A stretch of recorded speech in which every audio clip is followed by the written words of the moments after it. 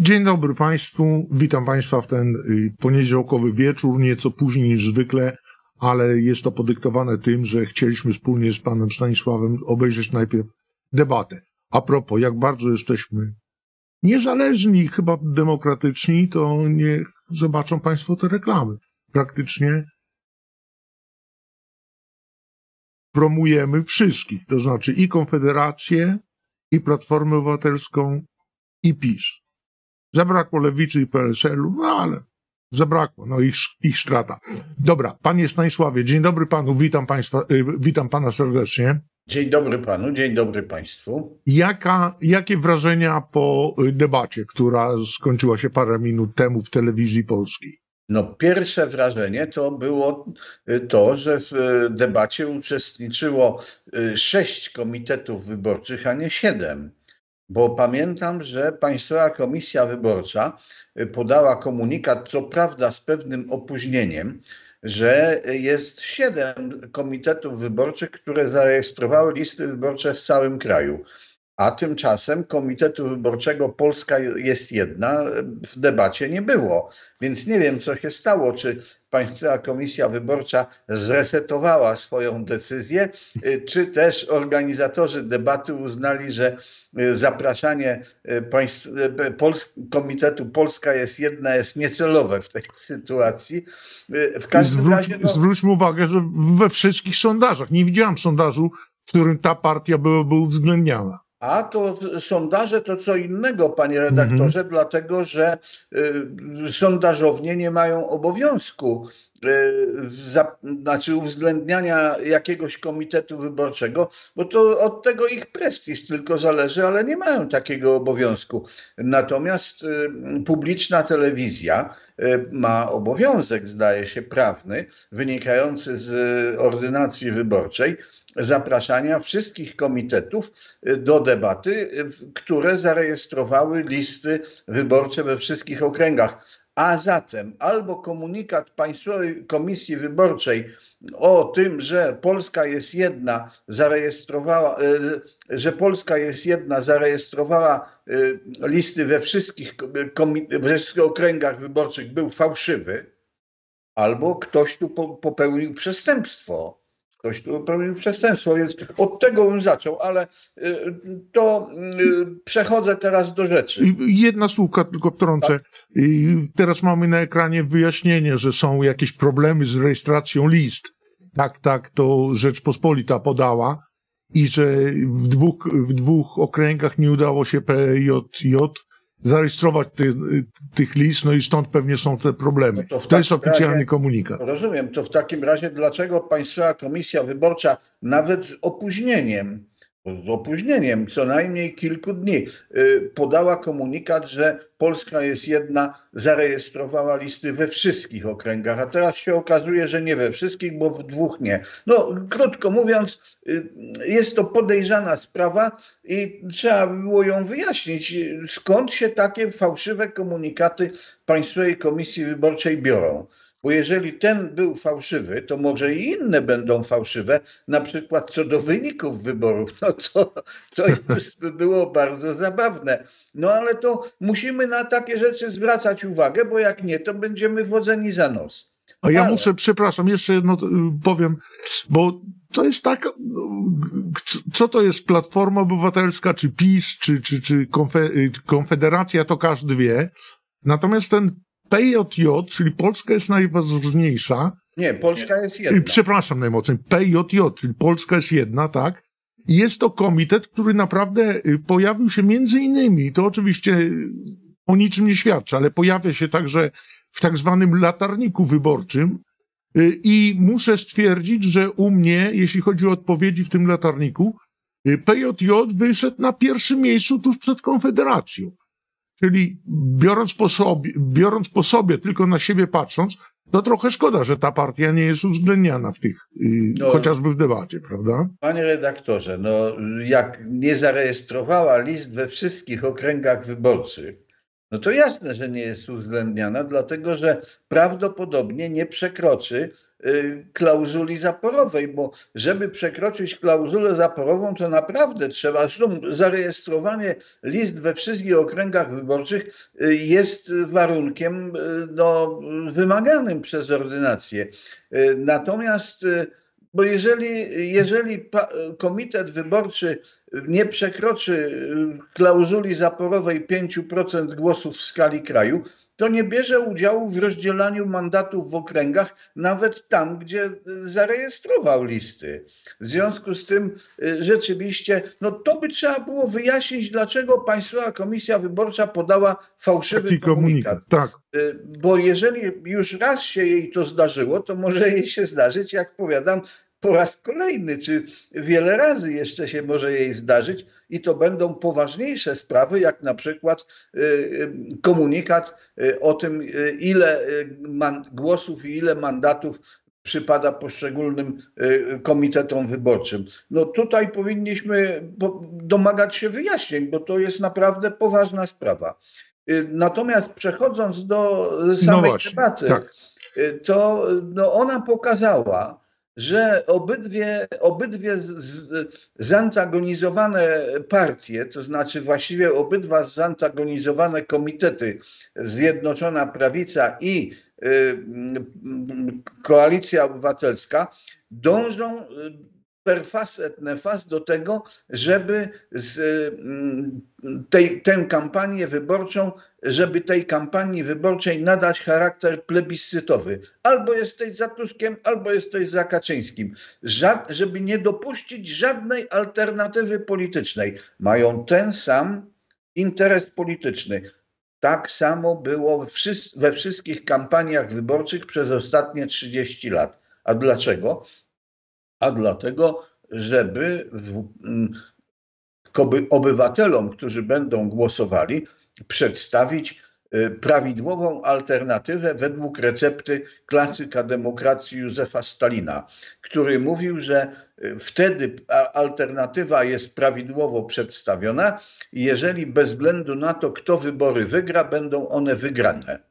No i właśnie do tego ta debata zmierzała. Y, oczywiście rządowa telewizja y, ustami pana Rachonia i y, tej pani, której nazwiska nie znam, po prostu prawie że dosłownie wyrecytowała, a w każdym razie podporządkowała te pytania do, debat, do uczestników debaty do referendum do referendum, które Prawo i Sprawiedliwość tutaj przeforsowało. Więc y, już y, ta intencja y, wsparcia jednego komitetu wyborczego przez telewizję publiczną też była widoczna. Też była widoczna aż do przesady. Ale pytania, pytania nie były zaskakujące. Mnie tylko zdziwiło to, że y, w niektórych, podkreślam, w niektórych, niektóre pytania trwały dłużej niż y, czas przeznaczony na odpowiedź na to no pytanie. to prawda, to prawda, tym bardziej, że te pytania właściwie zawierały pewne tezy. Zawierały pewne tezy. I y, pytanie do uczestników debaty było, która teza ci się najbardziej podoba? To tak jak tak jakby pytać uczestników debaty, kiedy pan przestanie bić żonę. To jest mniej więcej tego typu. Y, no, nieuczciwość tej debaty rzuca się w oczy już na, na pierwszy rzut oka. Ale no, trudno. Uczestnicy zgodzili się w niej uczestniczyć.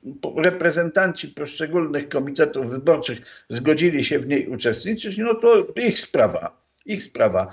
Y, jeśli bym miał określić y, moje wrażenia, bo to. No właśnie, bo. Panie redaktorze, powiedzmy sobie szczerze, 60 y, sekund na pytanie, które obejmuje całkiem spore, każde pytanie obejmuje całkiem spore segmenty funkcjonowania państwa, to jest bardzo mało. I tutaj merytoryczna odpowiedź właściwie nie może zostać udzielona, liczy się tylko wrażenie. Dokładnie. Jakie uczestnik jacy, jakie uczestnicy tej debaty zrobią na y, publiczności telewizyjnej. No właśnie, panie redaktorze, jeśli by pan pozwolił, I skoro mówi Pan o tych wrażeniach, czy mógłby Pan jakoś skomentować, czy ocenić poszczególnych uczestników tej debaty? No, pan premier Donald Tusk, były, z panem premierem Morawieckim aktualnym, przekomarzali się. Czasami przekraczając granicę śmieszności. Moim zdaniem przekraczało to granicę śmieszności. No ale premier Natomiast... Morawiecki podkreślił, że na przykład za rządów Tuska sprzedano, y, sprzedano prawa do utworów Krzysztofa Krawczyka. No jest to coś bardzo ważnego w końcu Panie w redaktorze, ja wielokrotnie mówiłem, że y, zarówno Koalicja Obywatelska, jak i Zjednoczona Prawica mogą się spierać, ale tylko już o różnicę łajdactwa. O różnicę, nie o samą zasadę, bo łajdactwa popełniają jedni i drudzy, więc mogą się spierać tylko o to, kto był większym łajdakiem, a kto mniejszym. To bardzo trudne jest określenie, bo y, kaliber łajdactwa jeden drugiemu nierówny. A panie redaktorze, ciekaw jestem, jak pan spróbuje y, zgadnąć być może, a może po prostu ocenić, y, premier Morawiecki ile razy użył nazwiska Tusk no nie liczyłem, ale za, ka za każdym razem i to wielokrotnie. Tak, 19 razy. 19 no, razy, myśmy to liczyli. Więc y, intencja nawet, myślę, że on nieświadomie to robił. Ale intencja właśnie tutaj też jest taka, żeby tę kampanię wyborczą przekształcić w kampanię między Kaczyńskim a Tuskiem. A to mówię, to jest dokładnie realizowanie scenariusza nakreślonego przez generała Czesława Kiszczaka w Magdalence. Więc jeżeli chcemy nadal statystować w tej takiej farsie, no to rzeczywiście to nie, to, to się poddajmy temu plebiscytowemu charakterowi kampanii, ale jeżeli nie chcemy statystować w tej farsie, no to musimy się rozejrzeć w najbliższą niedzielę za jakąś alternatywą polityczną. Ja taki wniosek wyciągam z, tej, z obejrzenia tej debaty. Rozumiem. A jakby pan ocenił, czy dobrym ruchem było wystawienie przez lewicę y, pani Joanny Scheuring-Bielgus? Myślę, że y, y, pan, moja faworyta, wielce czcigodna Joanna Scheuring-Wielgus Y, myślę, że merytorycznie nie jest ani lepsza, ani gorsza od innych tam y, postaci z ruchu robotniczego. Także y, myślę, że to nie ma znaczenia. A pan Hołownia? Pan Hołownia, ja bym powiedział. Był przekonujący, czy nie? Ja bym powiedział coś innego. Tutaj bardzo ciekawą tezę postawił Krzysztof Bosak, że te wszystkie ugrupowania, to znaczy Trzecia Droga, y, Lewica y, y, i no, to są przystawki koalicji obywatelskiej. I to prawda. Proszę zwrócić uwagę, że wszystkie ugrupowania, liderzy tych wszystkich ugrupowań, czy speakerzy tych wszystkich ugrupowań, z wyjątkiem Konfederacji, którzy występowali w tej debacie, licytowali się nawet Donald Tusk.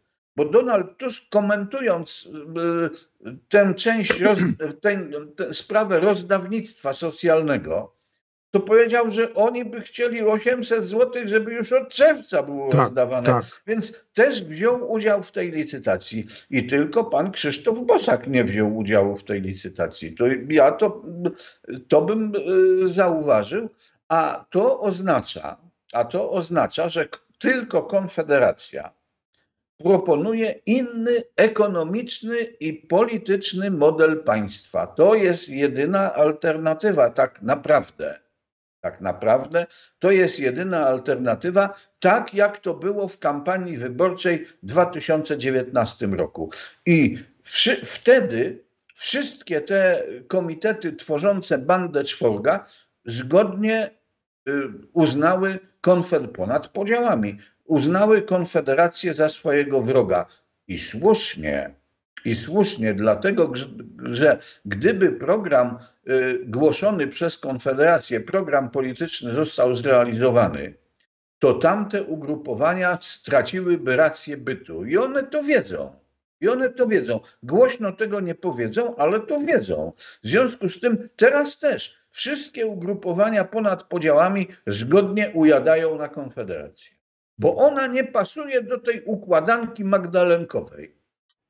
A propos Konfederacji, muszę y, Państwu przypomnieć, że chyba jako jedyni transmitowaliśmy y, konwencję y, Konfederacji, która odbyła się w piątek w Lublinie i materiał z tej transmisji można znaleźć na naszym kanale. Także warto jest też sięgnąć. Ja, no dobrze, powiem to. Lubię Konfederację, ale muszę powiedzieć, że tak jak uważam, że pan Krzysztof Bosak wypadł bardzo dobrze podczas y, tej debaty, y, to jedna rzecz mi się nie podobała. Mianowicie to, że chyba jako jedyny korzystał z kartki. Ale proszę, pan... Tak, ale proszę zwrócić uwagę, panie redaktorze, kiedy z tej kartki korzystał? Wtedy, kiedy przytaczał jakieś liczby rzeczywiście bardzo trudno. Ja brałem udział kiedyś w takich debatach telewizyjnych i bardzo trudno jest w sytuacji takiego napięcia y, zapamiętać y, y, poprawnie i poprawnie przytoczyć wszystkie liczby. Więc to, że Krzysztof Bosak korzystał z kartki, żeby się nie pomylić, to świadczy o jego szacunku wobec widzów. Okej. Okay. Dobrze, rozgrzeszamy go w takim razie. Y, panie y, redaktorze, czy ta, czy ta y, debata będzie miała wpływ na wybory? Jaki ewentualnie? Moim zdaniem nie. Moim zdaniem nie. W tej chwili ta debata to jest, można powiedzieć, taki że tak powiem, rutynowy obowiązek wynikający z ordynacji wyborczej. Jest tam przewidziane, że telewizja publiczna ma zorganizować debatę rządowa, no to organizuje, ale tak naprawdę to y, myślę, że bardzo wielu ludzi y, już ma skrystalizowane poglądy i to wcale im wcale nie wpływa na nich czy nie wpływają na nich tego typu debaty, bo z tej debaty rzeczywiście bardzo niewiele wynika. Poza bijącą w oczy intencją rządowej telewizji, żeby ta debata, żeby tą debatą podlizać się e, Prawu i Sprawiedliwości. Okej, okay, ja muszę, jak ja miał skomentować y, to, co ja widziałem na ekranie, to mnie jedna rzecz y, uderzyła, mianowicie to, że bardzo kulturalnie zachowywał się pan Rachoń i tylko bodajże ani razu nie przerywał, a tylko raz bodajże skomentował y, wystąpienie Donalda Tuska. Y, Czyli panie, jak na dziennikarza było to bardzo profesjonalne. Panie redaktorze, bo y, ten y, regulamin debaty nie przewiduje y, takiego, takich połajanek i tak dalej, ale pan Rafał nie, jednak nie potrafił się powstrzymać, bo to, wie pan... No ale tylko raz, no to wybaczamy tak, no, mu chyba. No ale raz wystarczy. Przyzwyczajenie jest drugą naturą, wie pan, i to wilka ciągnie do lasu. Panie redaktorze, ponieważ to jest ostatni program w naszej telewizji z pana udziałem przed już się niektórzy pewnie wystraszyli, nie wiem, wierzę, że, że nie ostatni, e, ale ostatni przed wyborami, to ja zadam panu trudne pytanie.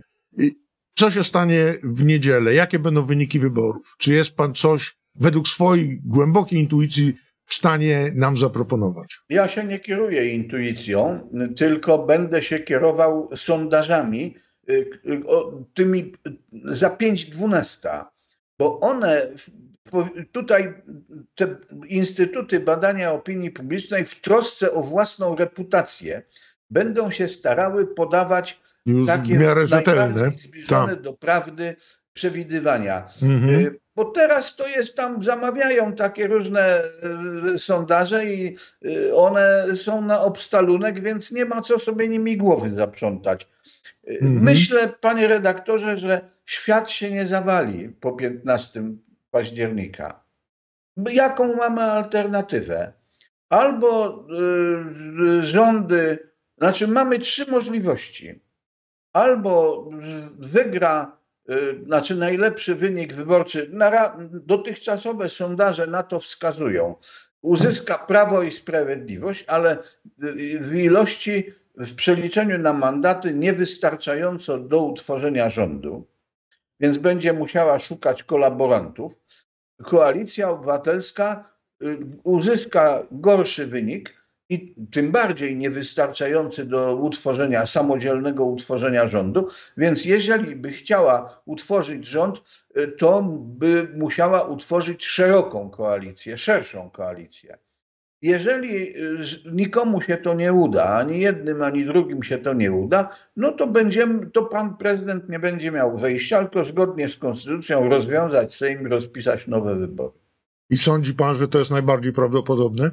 To zależy od tego, jaki rezultat uzyska trzecia droga. Czy trzecia droga przetoczy się przez 8% głosów w skali kraju, czy nie? Bo jeżeli nie, no to, y, to wtedy y, nie będzie, y, Donald Tusk nie będzie miał wystarczającej większości, nawet gdyby zawarł koalicję z lewicą. Bo nie wyobrażam sobie, żeby Donald Tusk zawarł koalicję z lewicą i z Konfederacją. Tego sobie nie wyobrażam nawet w gorączce. Natomiast Prawo i Sprawiedliwość może zawrzeć koalicję z trzecią drogą, bo jak zawsze podkreślam, Polskie Stronnictwo Ludowe ma stuprocentową zdolność koalicyjną, a w patriotycznych porywach nawet większą. Więc może z każdym, może z każdym. Dlatego ja się nigdy nie zgadzam prawie z Aleksandrem Kwaśniewskim, ale tutaj się zgadzam, że y, języczkiem uwagi tych wyborów jest trzecia droga. Okej, okay, a czy bierze pan pod uwagę to, co w ostatnich wypowiedziach wyraźnie Konfederacja mówi, że nie, ale czy jest możliwa ko koalicja PiSu z Konfederacją? Nie, ja wie pan, wszystko jest możliwe. Chociaż mało prawdopodobne, wydaje mi się, że jest to mało prawdopodobne. Ja, gdyby mnie ktoś, gdyby mnie ktoś zapytał o radę, Gdyby mnie ktoś z Konfederacji poprosił o radę, to ja bym im gorąco odradzał to. Ja bym im gorąco odradzał, dlatego że wejście z prawem i sprawiedliwością w koalicję jest y, rzeczą bardzo niebezpieczną, zwłaszcza mm -hmm. dla mhm. takiej y, formacji jak Konfederacja.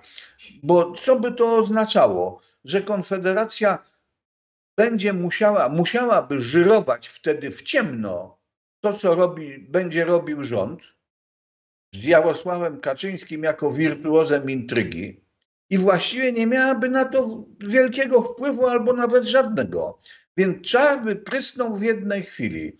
Konfederacja podzieliłaby los takich ugrupowań jednorazowego użytku.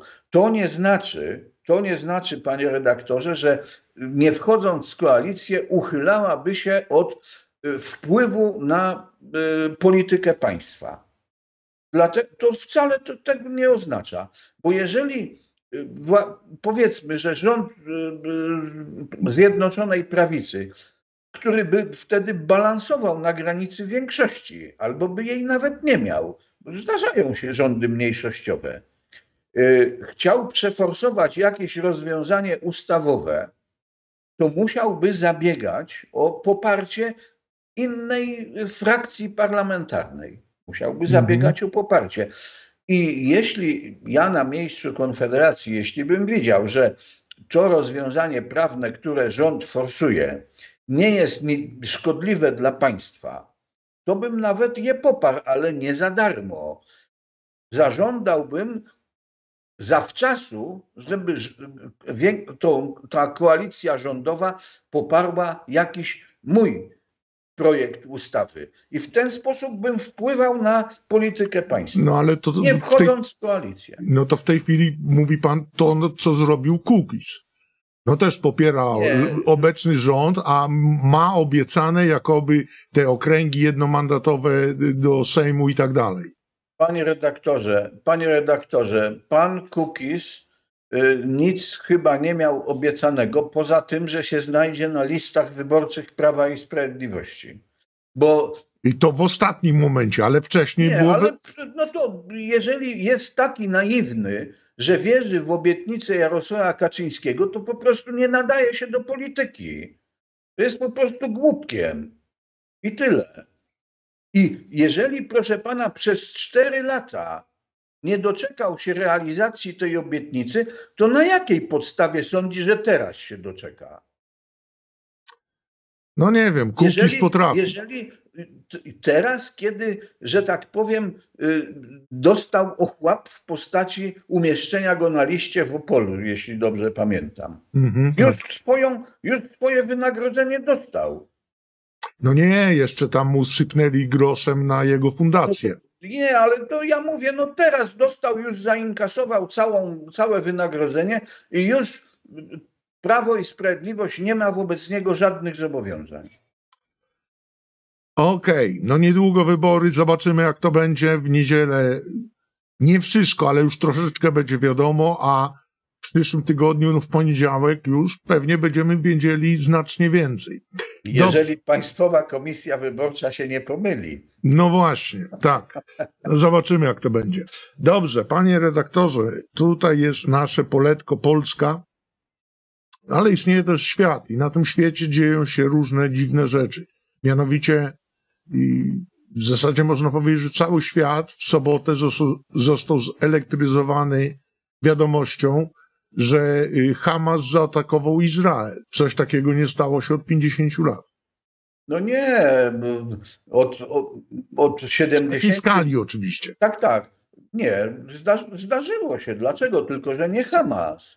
Tylko, że nie Hamas. Panie redaktorze, y, żeby nasi widzowie y, tutaj uzyskali pewne tło, to jeśli pan pozwoli, proszę bardzo, proszę bardzo. cofnę się w czasie o 75 lat. Izrael. Czyli powstanie państwa Izraela, tak. gdzie na podstawie rezolucji, rezolucji ONZ-u, tak, gdzie nie, w tej rezolucji. Nie, nie, nie, właśnie nie. Nie na Aha. podstawie rezolucji Organizacji Narodów Zjednoczonych, tylko wbrew niej wbrew niej. A, no tak, bo w rezolucji Izrael... było mowa, że powstanie państwo tak. żydowskie i państwo palestyńskie. Tak jest. Izrael jednostronnie proklamował niepodległość i dlatego ta jednostronna proklamacja y, wywołała y, y, atak na Izrael ze strony krajów arabskich. Właśnie mm. dlatego. No i ta wojna, to była pierwsza wojna bliskowschodnia, zakończyła się zwycięstwem Izraela. Bo tam te państwa arabskie nie mogły ko skoordynować ze sobą tam różnych posunięć, mniejsza o to. Następna wojna, i to wojna na Bliskim Wschodzie, miała miejsce w, w czasie tak zwanego kryzysu sueskiego. Mogę powiedzieć pokrótce, na Proszę czym on bardzo, polegał? Jasne. Y, y, otóż prezydent Egiptu Nasser znacjonalizował kanał sueski, co się nie podobało Francuzom i Anglikom i postanowili odbić ten kanał sueski, odebrać Nasserowi. I w tym, w tym celu w Sewr pod Paryżem odbyła się tajna narada z udziałem Wielkiej Brytanii, Francji i Izraela.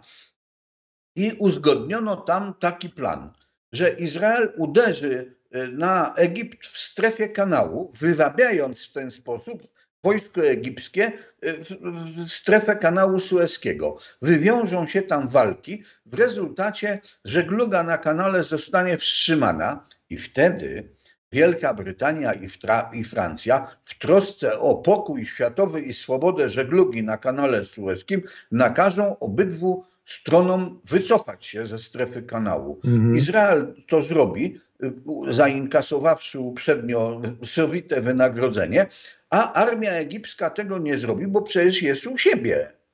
No to wtedy komandosi brytyjscy i francuscy wylądowali w strefie kanału, no i wy, wyparli y, wojsko egipskie ze strefy kanału.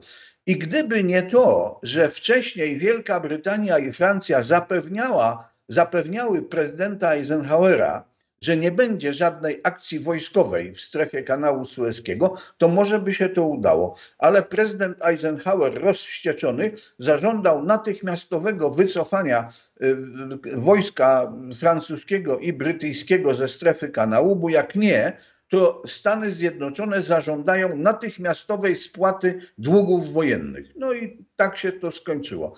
Trzecia wojna to jest druga wojna. Trzecia wojna to jest wojna sześciodniowa w 1967 roku. Skończyła się ona, jak wiemy, zwycięstwem Izraela i okupowaniem sporej części terytoriów głównie egipskich, ale nie tylko, bo i wzgórz Golan syryjskich i tak dalej.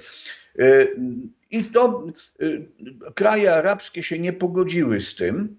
W związku z tym, o i teraz ta, ten atak Hamasu dokładnie w 50. rocznicę tej czwartej wojny. Tak, dzień po 50. rocznicy. Jom Kippur, mm. Jom Kippur, tak.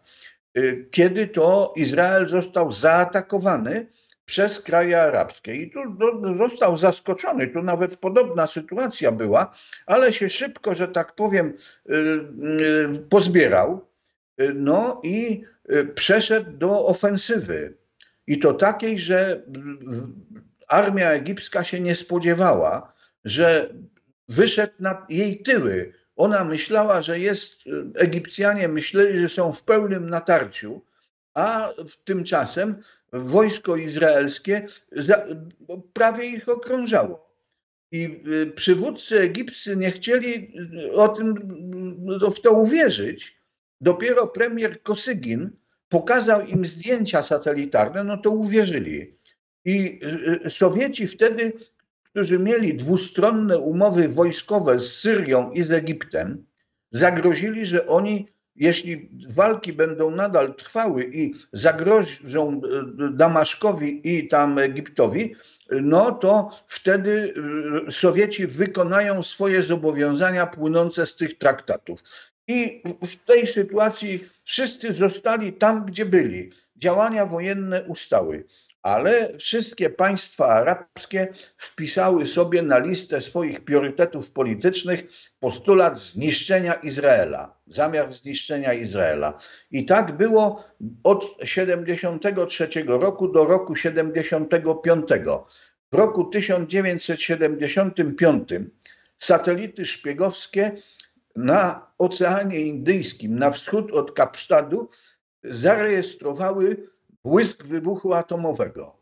Nikt nie chciał się do tego przyznać, ale od tamtej pory kraje arabskie wykreślają z listy swoich priorytetów politycznych postulat zniszczenia Izraela. No i teraz mamy do czynienia z kolejną większą wojną, jeszcze nie wiemy jak dużą. Jeszcze nie wiemy jak dużo, bo tam, tam te wojny, o których mówiłem, to były duże wojny, bo oprócz tych dużych wojen było jeszcze kilka mniejszych, takich lokalnych. No i nie licząc tych intifad palestyńskich. Mhm. I w tej chwili mamy y, kolejną wojnę, tym razem z udziałem Hamasu i Hezbollahu. Hamas, no to Hamas, to są Palestyńczycy. Kto ich tam wspiera, to ja nie wiem, bo to myślę, że to wywiady różnych państw zachodzą w głowę, kto ich tam wspiera. Natomiast jeśli chodzi o Hezbollah, który usadowił się w Libanie i stamtąd to strzeliwuje terytorium Izraela, no to Hezbollah jest wspierany przez Iran i przez Syrię, ale przede wszystkim przez Iran. I Hezbollah jest całkiem nieźle uzbrojony w nowoczesną broń, bo te rakiety Hamasu, które tam spadają na Izrael, to są robione w garażach z rur kanalizacyjnych, do których tam się przyspawuje y, lotki, i to, tylko że ich jest bardzo dużo. Kilka tysięcy tych rakiet spadło na Izrael. No rzeczywiście straty są, ale Izrael już przeszedł do odwetowych działań. No i na, jak wygląda na to, że gotów jest przeprowadzić te działania odwetowe, przynajmniej w strefie gazy, do ostatniego Palestyńczyka. Po prostu prawdopodobnie chce ich wszystkich wymordować, żeby przywrócić pokój na Bliskim Wschodzie. Bo pan rozumie, panie redaktorze, że najtrwalszy pokój to jest na cmentarzu. Hmm. I tutaj ma pełne poparcie Stanów Zjednoczonych. Prezydent Biden powiedział, że pełne poparcie cokolwiek Izrael zrobi, no niechby spróbował nie powiedzieć, to zaraz jakieś dziecko by sobie przypomniało, że 40 lat temu rękę pod spódnicę mu wsadził i to by dopiero była awantura. Więc on wie, to, że tak powiem, wie z którego klucza ma ćwierkać. No i ćwierka. Y, jeżeli chodzi o cel polityczny tej wojny, tego ataku w wykonaniu Hamasu, on może chodzić o to, bo tu jeszcze na koniec, jak potem to powiem, co teraz chcę powiedzieć, to jeszcze dam upust mojej ulubionej teorii spiskowej. Proszę bardzo, z przyjemnością. Otóż skutkiem tego ataku może być zablokowanie możliwości porozumienia Arabii Saudyjskiej z Izraelem, bo tam już się obwąchiwali. No a teraz, jeżeli Izrael rzeczywiście zmasakruje tych Palestyńczyków w strefie gazy, i na, a na to się zanosi, mhm. no to Arabia Saudyjska no, nie będzie tak mogła tutaj się za, z Izraelem tutaj jakiejś amikoszonerii uprawiać. Także to, się, to rzeczywiście, ten cel polityczny może zostać osiągnięty. I jeszcze ostatnia sprawa, Benjamin Netanyahu. Dla Benjamina Netanyahu ten atak Hamasu to jest prawdziwy dar niebios. Przecież pamiętamy, że jakie masowe demonstracje przeciwko niemu były, przewalały się przez Izrael. A teraz nikt nie demonstruje. Wszyscy się skupiają wokół Netanyahu. No bo tu Hamas i tak dalej. I jeszcze jedna rzecz, co mnie tutaj y, intryguje. Nie wiem, jaka jest prawda, ale faktem jest, że wywiad izraelski, uchodzący za jeden z najlepszych na świecie, w ogóle nie zauważył takiego słonia w menażerii. Przecież ma w strefie gazy tylu tam konfidentów, że to sam nie wie, ilu ma. I tymczasem nie zauważył tego. No więc są dwie możliwości. Albo nie jest najlepszy na świecie, albo też premier Netanyahu kazał wywiadowi izraelskiemu, Mossadowi, żeby niczego nie zauważał, żeby przymknął oczy. Takie rzeczy się zdarzają. W 1941 roku y, y, prezydent Roosevelt, który wiedział, że Japończycy szykują y, uderzenie na Pearl Harbor, nie uprzedził dowodzących tam generałów na Hawajach. Mhm. I skutek tego Pearl Harbor zostało zaskoczone. A dlaczego ich nie uprzedził? Dlatego, że wcale amerykańska opinia publiczna wcale się nie garnęła do tego, żeby wziąć udział w kolejnej wojnie europejskiej. Atak na Pearl Harbor wszystko zmienił.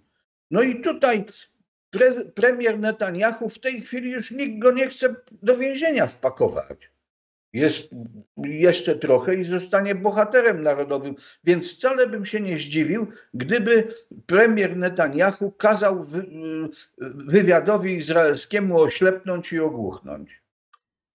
No, ciekawa teoria spiskowa jak u pana, ale powiedziałbym co najmniej niewykluczona. Panie redaktorze, a jakie to, co się dzieje w tej chwili na yy, w Palestynie i w Izraelu ma wpływ na Polskę i Ukrainę? Na Polskę to wielkiego wpływu nie ma, natomiast na Ukrainę oczywiście ma, dlatego że to jest dodatkowy powód, żeby Stany Zjednoczone w tej chwili przestały się w takim stopniu interesować Ukrainą.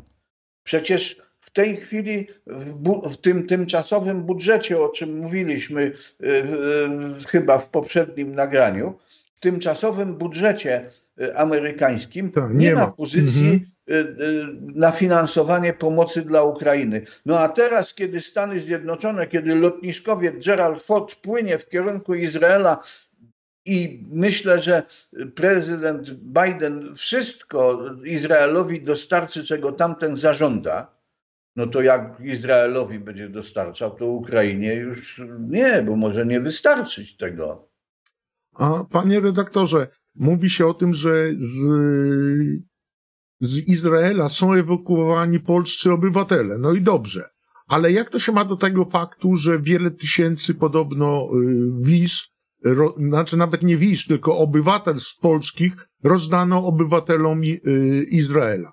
No to no, myślę, że ci obywatele izraelscy to nie będą się ewakuowali do Polski, bo oni tam do innych y, państw Unii Europejskiej, do Polski to się mogą ewakuować dopiero wtedy, jak będzie realizowana ustawa 447. Aha. Mógłby pan jeszcze tak? No bo my no, a... znamy to 447, w większości naszych wiedzowie też, ale o co tam chodzi? Czy mógłby pan przypomnieć? Panie redaktorze, chodzi o to, że w tej ustawie sta rząd Stanów Zjednoczonych się zobowiązał, że dopilnuje, żeby Polska zrealizowała te żydowskie roszczenia majątkowe dotyczące własności bezdziedzicznej. I dopilnuje tego. Na razie ma inne zmartwienia, na szczęście, ale jak już te zmartwienia jakoś się skończą, to wtedy tego dopilnuje. No i wtedy ci obywatele y, y, mieszkający w Izraelu, którzy mają polskie paszporty, bardzo możliwe, że oni do Polski przyjadą. A no właśnie, jak będzie, już za tydzień będziemy wiedzieli więcej.